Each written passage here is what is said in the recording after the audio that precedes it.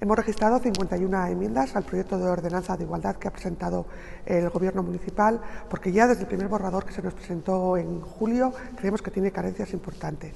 Una de las enmiendas más importantes que hemos eh, registrado es la de que el área de igualdad sea una concejalía propia y única dependiendo de alcaldía. También hemos propuesto que se el término mm, violencia contra las mujeres se cambie por el de violencias machistas porque es un término mucho más consensuado con el movimiento feminista. Al mismo tiempo, hemos registrado otras enmiendas que tienen que ver con el fomento de la corresponsabilidad, de, incluir la perspectiva de género en convenios y en contratación y otras enmiendas que creemos mejorarán sustancialmente este proyecto que tiene que regir la igualdad en este consistorio.